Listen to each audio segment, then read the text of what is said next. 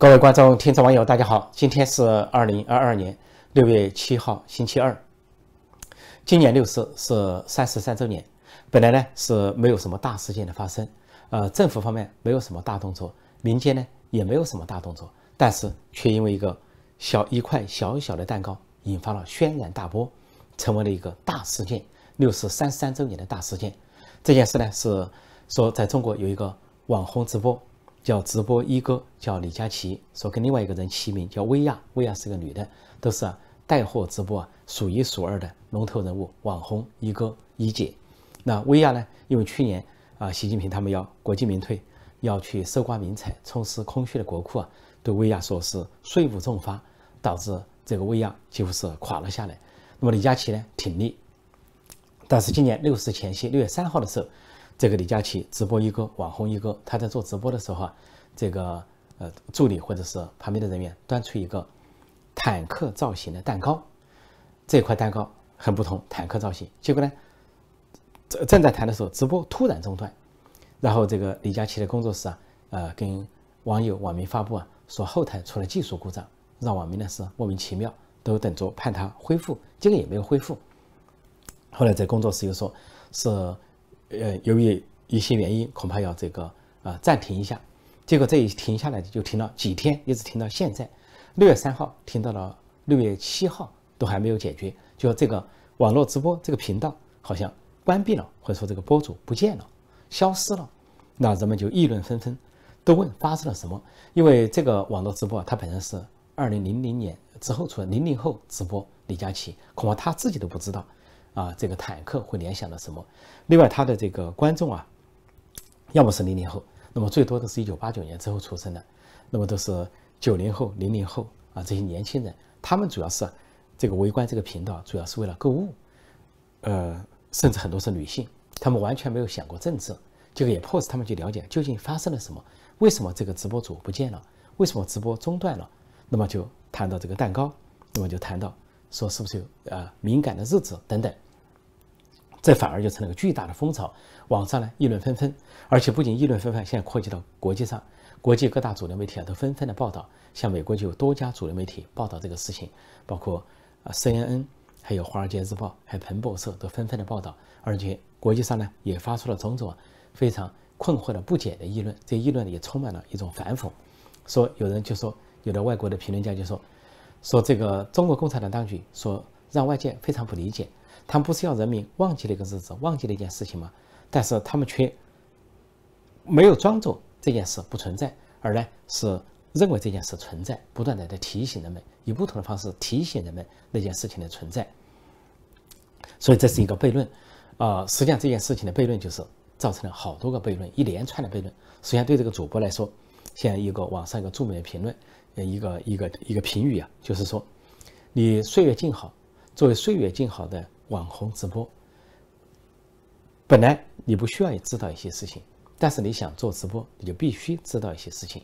就原来这个跟政府的本意相反，政府的本意是不想让你知道，你最好不知道。结果呢，怕你在直播中出错，或者是所谓政治啊不正确，结果你就迫使你去知道那个事情。在网红直播，你能够，你必须要无所不知，对历史事件、对敏感日期、对一九八九年究竟发生了什么，你必须知道。你不能成为一个单纯的人。所有的国际媒体就说，这个李佳琦这个网红一哥所做的事情呢，本来是中共希望的事情，是忘记他，不知道他。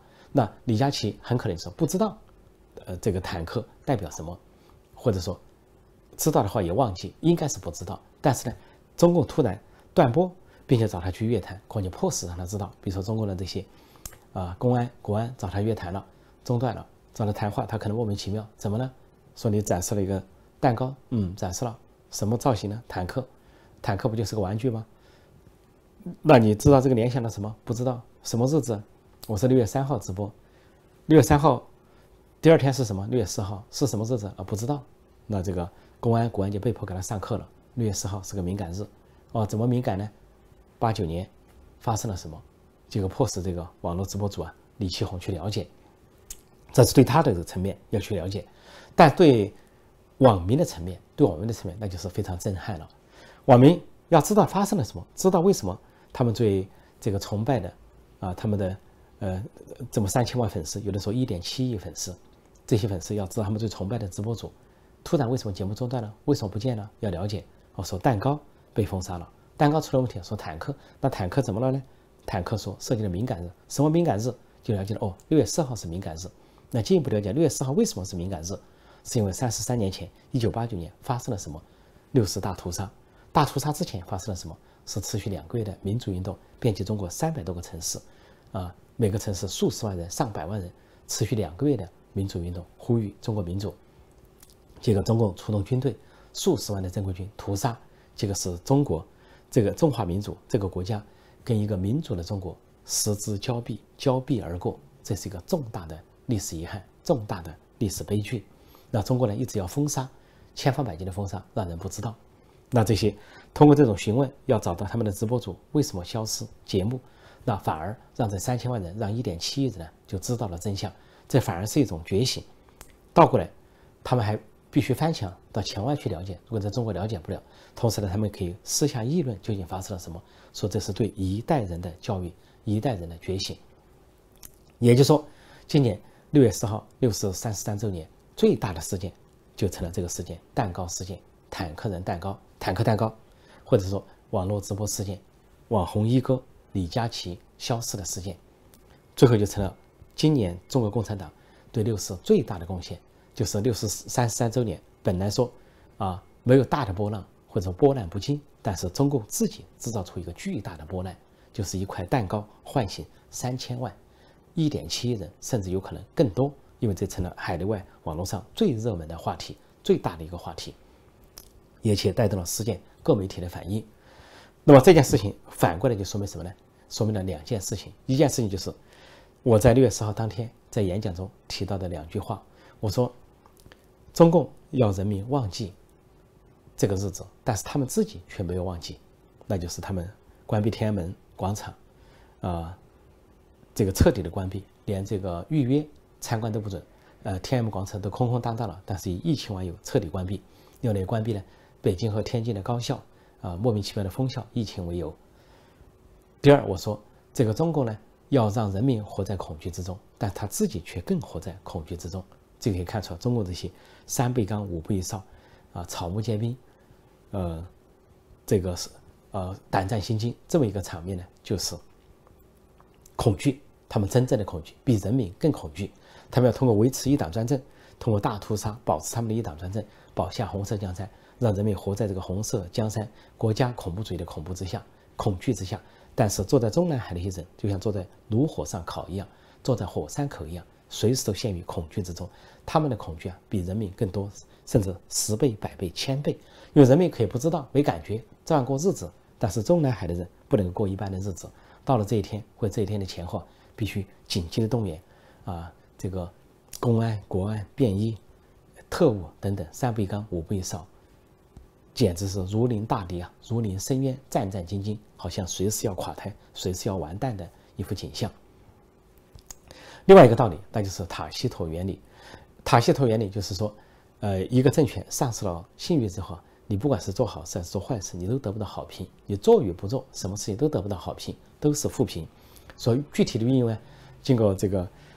主管意识形态的政治局常委王沪宁给习近平的提醒，具体的运用就是出现了天灾人祸，你作为最高领导人、总书记不要去天灾人祸的现场，你去也没用。你去的话，说你是作秀啊，人们会看到你的各种表演的细节，群众演员，然后对你一顿的抨抨击。你不去的话，就说你是官僚主义，是权力傲慢，是脱离群众。反正你两个都得不到好评，既然得不到好评，你就不要去。所以就出现了罕见的现象，啊，中共建政以来。第一个最高领导人不到呃天灾人祸的现场，哪里发生了洪水啊？哪里发生了这个呃大瘟疫，或者哪里发生了爆炸，跟他无关。河南发了洪水，他跑到西藏高原视线无极，返回去避洪水。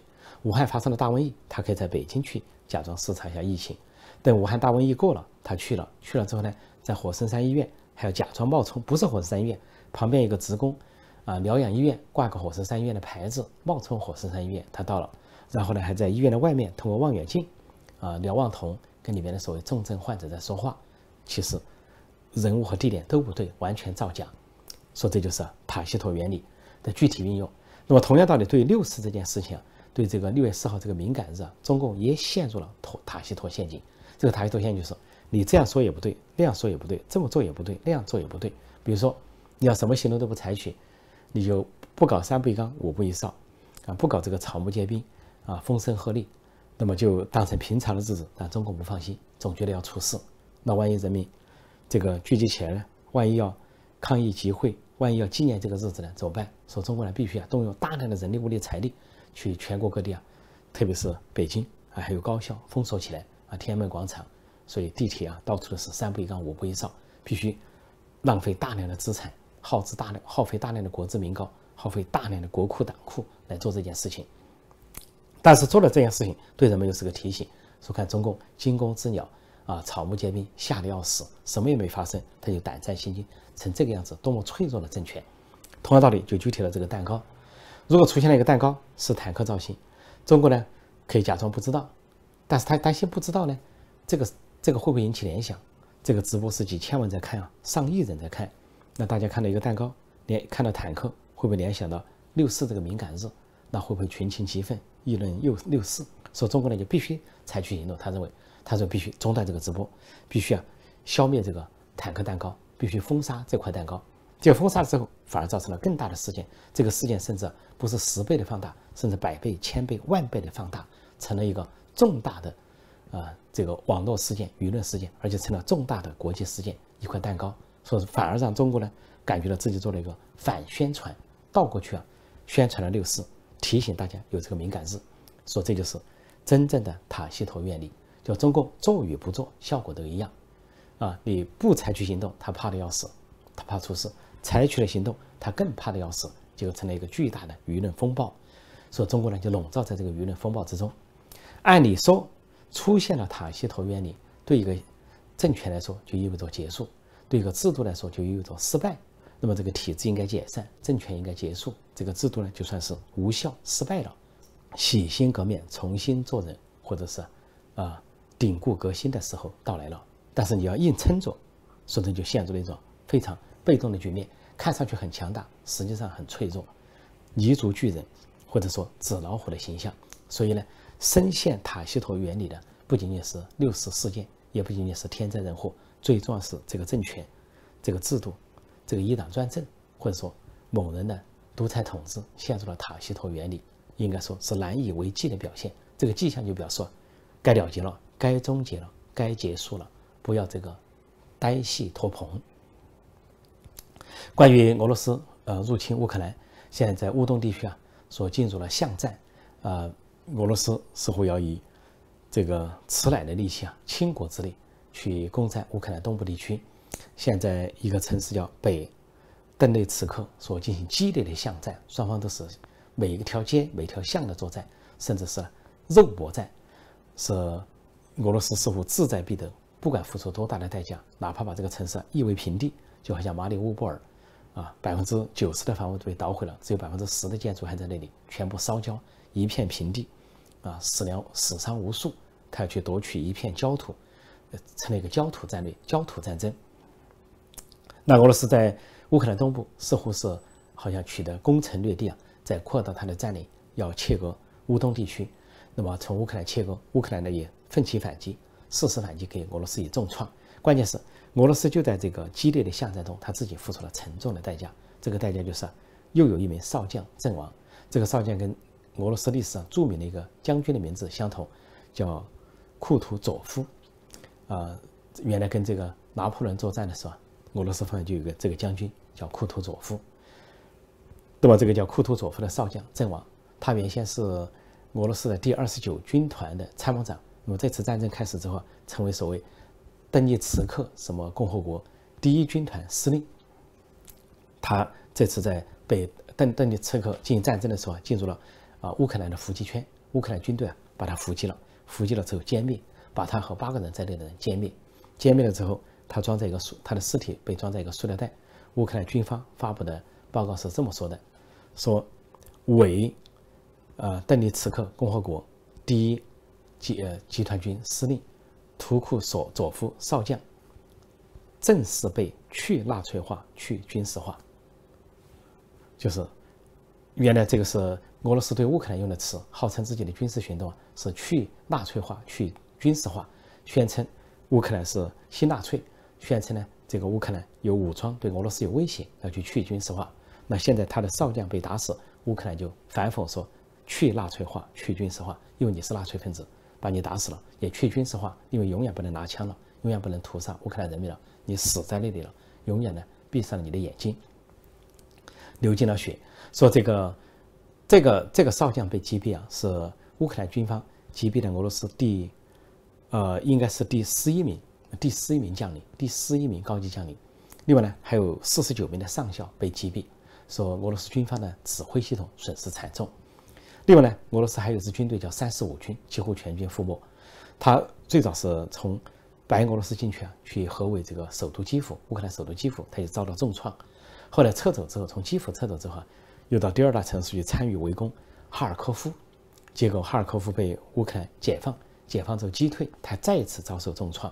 那么他又退到乌东地区继续打仗，结果呢，现在说这个这个整个军队啊，三十五军几乎全部阵亡，说剩下的可能只有十几个人。这个军呢是说大概有万人的编制，最早是由三三个旅组成，说是三个陆战旅组成，但是普京这个人迷信营级啊战斗群，叫营级战斗群。最后，在这个这个军队重组进入乌克兰前线的时候，是化成六个营，叫营级战战斗群，这是普京的所谓战术。结果这六个营级战斗群几乎全部被打散，全部击溃。说三十五军呢几乎全军覆没，假装还有个编制在那里，其实根本就没有人了。那么从这点可以证明呢，俄罗斯的兵源也很有限，他无法补充兵源。说一个战争打到这么个程度啊，你成建制的一个集团军被打的。几乎是全军覆没啊！这个战争你按道理就不应该打了，你几乎是在拿自己的国力来消耗，拿自己的家底来消耗。就算你在某个局部上胜利了，那也是惨胜，根本不值一提的胜利。另外，在俄罗斯国内呢，因为这个战争，那么对普京啊，现在的消息更多，说俄罗斯的安全安全局啊，联邦安全局对普京极为不满。现在传出两个说法，说普京呢，要么自己。啊，辞职被推，要么是被推翻，要么自己辞职。还有一个说法，可能就被暗杀。如果自己不下台的话，那么而且说这个联邦安全安全局啊，内部啊已经有动了杀机要暗杀他的人。这些人放出了风，就说暗杀了之后，就说普京是因为心脏病或者癌症而死亡，然后对外宣布啊，说可怜的普京因为癌症或者心脏病而死亡。这样呢是可以让政权说平稳的过渡，让这个社会不致出现大乱。说连这个计划都准备好了，对普京。那么另外一点呢，就是西方的制裁继续的深入到俄罗斯的权力中枢。原先跟普京有个演二人转，一会儿当总统，一会儿当总理，两人玩玩着圈。为了配合普京长期执政的一个人叫梅德韦杰夫，当个总统，当个总理，也当个所谓的议长或者副议长。这个人呢，他的儿子啊，啊，说是原来是一个演电影的童星。那后来是住在美国，在美国还有加油站，啊，还有什么连锁店等等。那么现在被美国下令四十八小时离境，因为你的签证被取消了。这个人叫伊利亚，呃，梅德韦杰夫。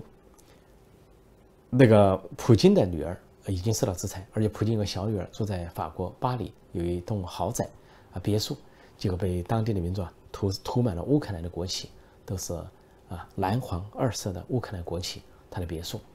那么就可以看出啊，这个俄罗斯啊高层领导就跟中共的高层领导一样，人格分裂、精神分裂，双重标准，对人民呢是宣传是反美反西方，但他们自己的子女却住在西方，像这个普京的女儿住在法国，梅德韦杰夫的儿子呢住在美国，然后这个习近平的女儿啊住在美国，在波士顿，还在哈佛大学啊又重新回到哈佛大学读研究生，但是在国内却大搞反美。反西方的宣传，所以用双重标准来定义他们已经不足够。应该说的是，那就是人格分裂、精神分裂，这才是对从北京到莫斯科的独裁者最准确的说法或者定义。好，今天我就暂时讲到这里，谢谢大家收看收听，再见。